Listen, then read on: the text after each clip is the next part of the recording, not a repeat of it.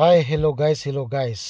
Alam nyo ba itong Quasar token ay pwede nating i-store sa wallet uh, swap apps.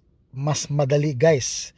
No need na yung mga decimal point, no need na yung name. Ang ang kailangan mo lang dito ay itong contract address Example, ito ha, ito yung contract address ng Quasar token. Okay? So, ang gawin nyo is, ayan, i-copy mo to. Copy. Ayan, copy. Tapos, dalhin nyo doon sa,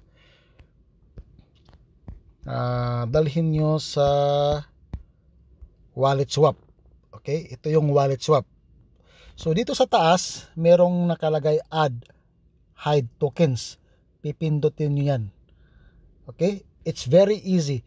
Then, sa taas, merong plus. Pipindutin yung plus. Ayan. At nakita natin dito guys, yung merong add custom uh, Ethereum. Okay? Tapos contract address, symbol, decimals, at name. So, ang gawin nyo guys, itong contract address ilagay nyo dito, yung na-paste nyo, ay na, na-copy nyo, i-paste nyo lang dito, tapos paste.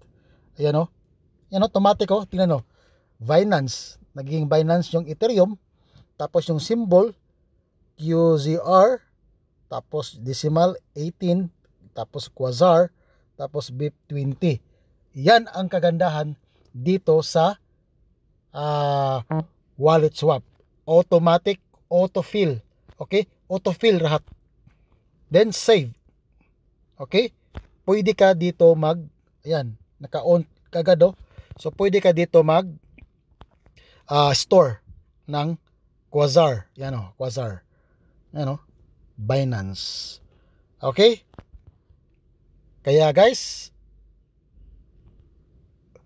bili na hanggang habang pre-sale pa yung Quasar. Alright.